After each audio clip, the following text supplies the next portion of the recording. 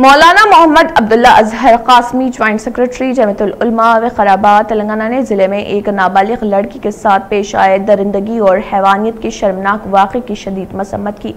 उन्होंने अपने मजमती बयान में कहा कि इस वाक़े ने महजब समाज का सर शर्म से झुका दिया है।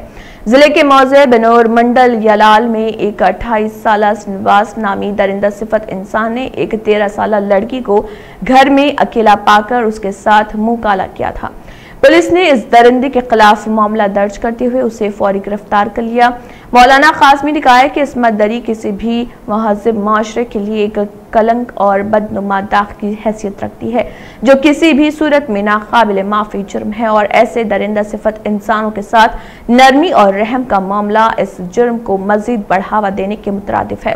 उन्होंने कहा कि जमतुलमा ज़िले वखराबाद इस दरिंदगी की सख्त अल्फाज में मजम्मत करती है और अदलिया और हुकूमत से पुरजोर मुतालबा करती है कि ऐसी घिनौनी और गैर इंसानी हरकत करने वालों को अदालत के वाज करदा सख्त कवानीन के तहत लाते सख्त सजा दी जाए, जो आइंदा के लिए एक सबक और मिसाल बन जाए।